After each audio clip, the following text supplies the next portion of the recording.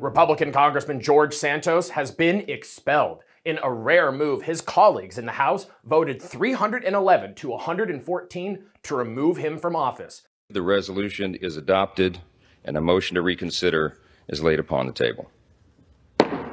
Santos has been charged with numerous crimes centered around various kinds of fraud, but he hasn't yet been convicted of anything.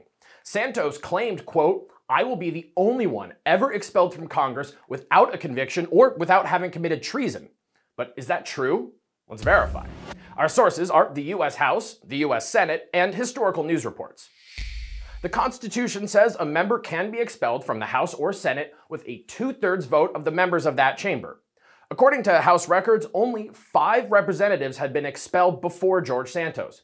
The first three were in 1861, all for treason when they joined the Confederacy and took up arms against the Union.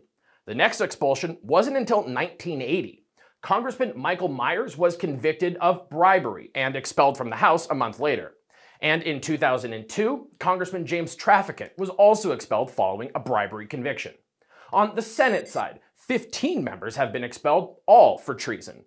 One senator was expelled in 1797 for meddling in foreign affairs with a scheme to attack what was then Spanish territory and hand it over to Britain.